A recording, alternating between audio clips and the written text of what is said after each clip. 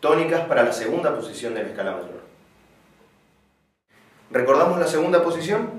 Dedo 1, 3, 4, 1, 3. Retrocedemos un espacio, ponemos el dedo 1 en el cuarto espacio para la segunda posición de Sol.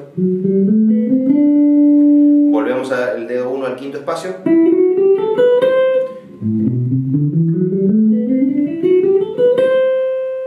Las tónicas las vamos a tener en ese sol que estaba presente en la, en la primera posición.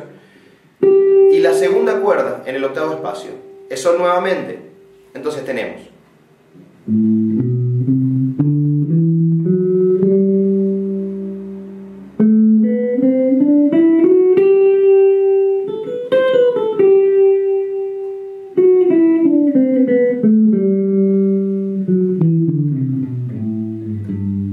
de la sexta cuerda de la primera posición. Voy a hacer algunas frases que resuelvan en esas tónicas.